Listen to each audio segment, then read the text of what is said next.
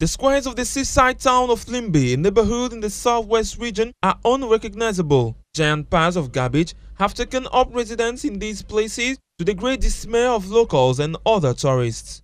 This tourist town, although very popular, are in dire need of maintenance. The inhabitants say they are fed up while decrying this situation. The sea, water is brought by the sea. So whenever we have a heavy rain, always bring them all the way from Motengene. You know, even sea don't love death inside the sea. So that is the reason why you always find that the, by the side of the sea. Yes, that is what causes the sea to be always dirty.